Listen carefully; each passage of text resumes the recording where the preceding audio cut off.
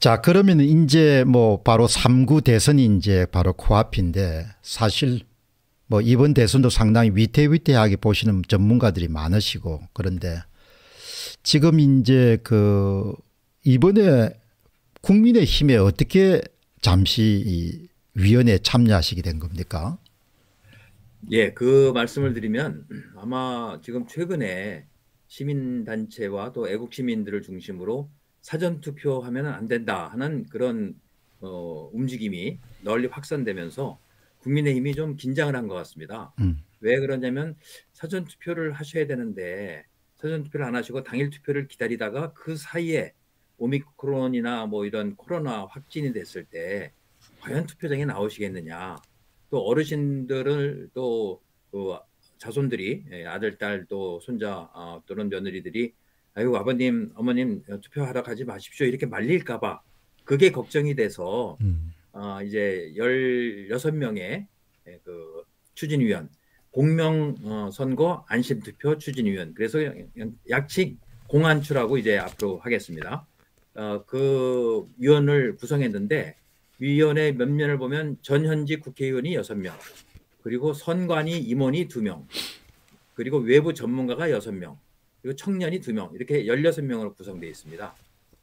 그게 2월 11일 날 지난 지난 금요일 날 첫 회의를 가졌는데 회의를 가지면서 바로 주문 사항이 예, 작년에 사전 투표에 대해서 완전히 법, 법으로 아, 안전하게 구비를 해놨으니까 사전 투표에 문제가 없다. 그러니까 여기 있는 외부 전문가들 포함해서 모든 위원들은 방송 언론에 나가서 사전 투표를 좀 독려해 주십시오.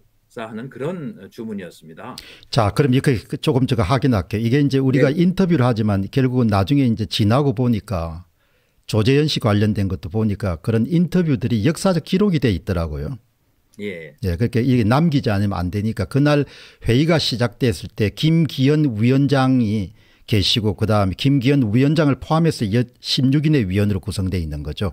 그렇습니다. 예, 예. 그런데 그날 모두 발언에서 우리가 사전투표와 관련된 그런 근심순 상황을 해결하기 위해서 2021년도에 일부 법 개정을 했으니까 정말 예. 안심해도 됩니다. 이렇게 발언하신 분은 누구죠? 어, 김기현 대표도 이제 그런 식으로 얘기했고 특히 박완수 의원이 음, 집중적으로 얘기한 노예한 사람이죠. 박완수 의원이 그 법안을 다 발의를 했거든요. 네, 박완수란 네, 사람이 1955년생인데 예, 예. 아주 그 노예한 그런 정치 를 하는 사람이죠. 노예하다는 것은 좋은 의미도 해석할 수 있고 나쁜 의미도 예. 해석할 수 있는 겁니다. 저는 분명히 이렇게 예, 예. 딱 지적을 하죠. 박완수 씨가 행안위 관련돼서 아마 업무를 보고 있을 겁니다. 예, 행안위 간사기도 하고요. 예, 예, 음. 그렇습니다. 그러니까 이제 그 이야기를 들어보면 현재 국민의힘의 현직 국회의원들은 가능한 선거 공정성과 관련해서 뭐 문제가 나오지 않게끔 그렇게 재촉하고 있다는 인상을 받을 수가 있고 사실 뭐 어느 사람이 되든 별로 본인들이 관심, 이 없는 거죠. 뭐 그 사이에서도 한 80석 90석은 그 야당 몫으로 그냥 먹으라 떨어져 이렇게 나올 테니까. 예. 지금 뭐 국민의 힘이라는 것이 그게 당이 아니지 않습니까? 법 하나 네. 본인이 통과시킬 수 없고 그냥 세비 받아서 먹는 그냥 네. 구색을 맞추기 위한 정당이지 않습니까? 나는 그런 생각이 네. 들거든요. 그게 본인들은 네. 해피한 거죠. 국민들이 아마 죽어나든 관계없이. 예. 자, 그러면 이제 그렇게 이제 이야기가 아, 안심해서 투표됩니다. 이렇게 이야기 나오니 그 다음에 이제 이야기가 어떻게 진행됐습니까? 네. 그러고 나니까 이제 우리 외부 전문가 중에 제일 먼저 반론을 제기하신 분이 이미현 현재 연대 로스쿨 교수신데요. 음. 어, 두 가지 사항에 대해서 우선 QR 코드에 대해서 문제점을 제기하시는데 음. 제가 뭐 그동안 쭉 연구한 거 이상으로 알고 계시더라고요. 음. 그래서 저는 속으로 굉장히 기쁘고 아 음. 동지를 만났구나 하는 관심 드는 음. 생각이 들었고요. 어, 그리고 그래서 저는 또 이제 그 사전투표 관리관의 도장 문제를 언급을 했죠. 예. 그랬더니 이제 분위기가 이상하니까 음. 좀 제지를 하더라고요. 그러면서 다른 분들 얘기를 들어보자 이렇게 하니까 뭐 서울시 선관위 상임위원을 했던 안병도 의원이라든가 어, 전 중앙 선관위 상임위원장을 한 문상구 씨는 그날 안 나왔습니다. 그런데 그 안병도 상임위원이 자기가 상임위원을 해봤지만 예, 부정선거는 있을 수 없다. 아, 선거제도는 완벽하다는 얘기를 합니다.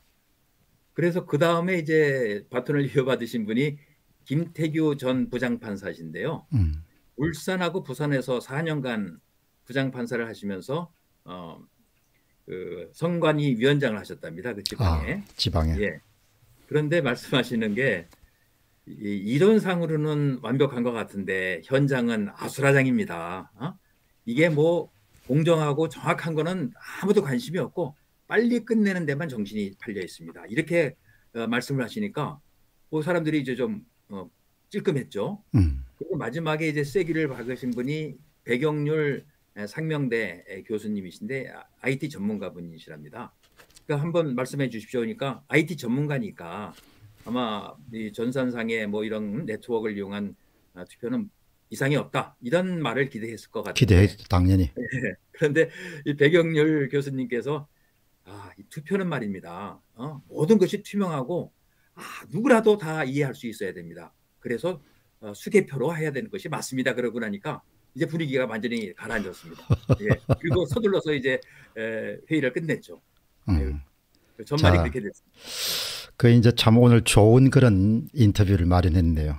이미연 교수님, 김영철 장군님, 그다음에 안병도 상임위원 전 상임위원, 예.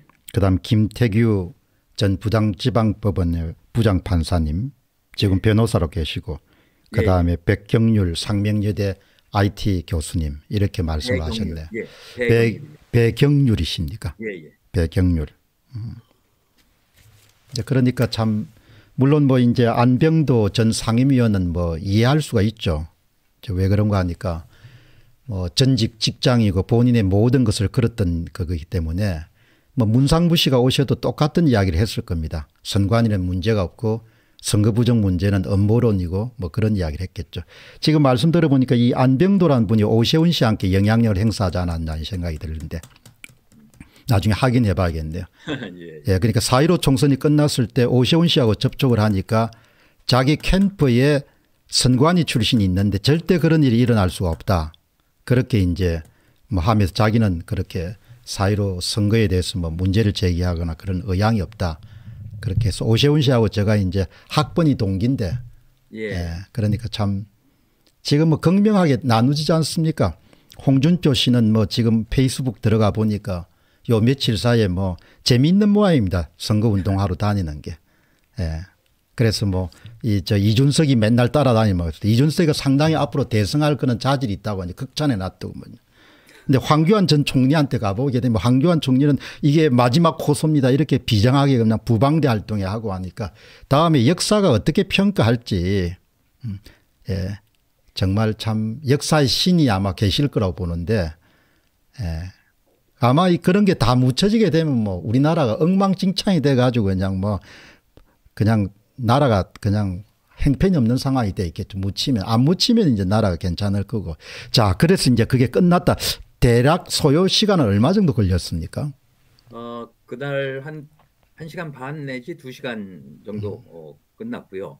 그 끝나고 나서 저는 막 걱정이 너무 돼서 이제 다른 그 이제 외부 전문가님들한테 뭐 전화번호도 모르고 그러니까 겨우 한 분 찾아가지고 이제 아유 앞으로 걱정입니다 하고 전 예, 메시지를 드렸는데 그날 백영률 교수님, 어, 이미연 교수님, 김태규 어, 판사님들은 평소에 알고 지내시던 아. 분이더라고요. 그래서 한 군데 모여서 커피숍에 모여서 아주 성토 대회를 하, 했다고 그러십니다. 음. 그래서 아유 저도 좀 불러주지 그랬습니까? 그랬는데 그들은 이제 자주 만났습니다. 그래서 음. 주말에 만나서 도저히 이대로는 안 되겠다. 음. 아 그래서 석동현 변호사가 마침 간사 역할을 했기 때문에 예, 석동현 변호사 간사 예예. 예. 음. 그래서 간사께 말씀을 드려서 이대로는 안 된다 하고 해서 김기현 원내대표와 그 다음 월요일 날 아침 9시에 한 번, 저녁 9시에 한 번, 두 번 두 차례에 걸쳐서 자리를 갖게 됐습니다. 음.